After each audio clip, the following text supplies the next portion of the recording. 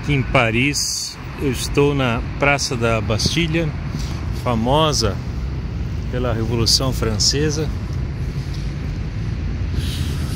No momento, 2 graus aqui.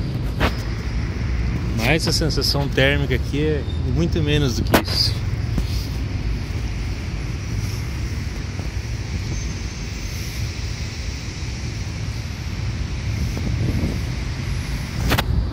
Tá frio.